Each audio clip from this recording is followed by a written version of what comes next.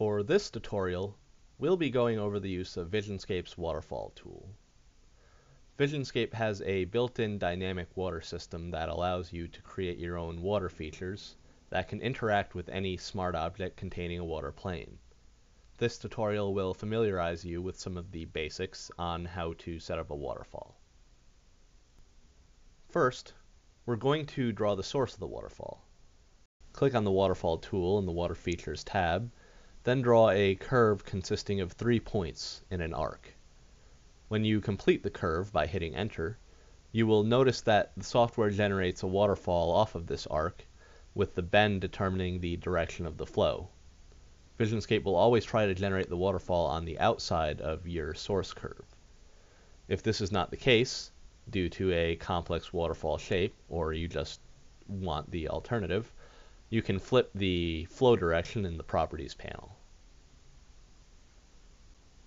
Waterfalls are designed to interact with water bodies, generating ripples on any water surface it touches. With a water body in your scene, position the waterfall so the resulting flow lands in the pond or pool. This should generate ripples based on the shape of the waterfall, which can then be tweaked in the water body's water tab. You will also notice that the waterfall generates additional splashes and foam that are unique to the water's ripple source. Next, let's take a closer look at the Properties panel for the waterfall.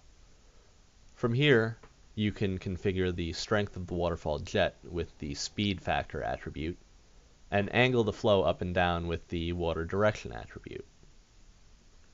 The visuals of your ripple splashes can be tweaked using the foam spread and splash intensity attributes, or they can be turned off with show splashes and show foam toggles.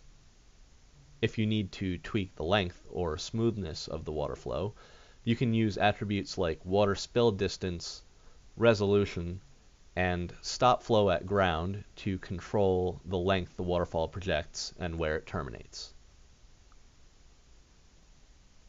This concludes our quick look at the waterfall tool.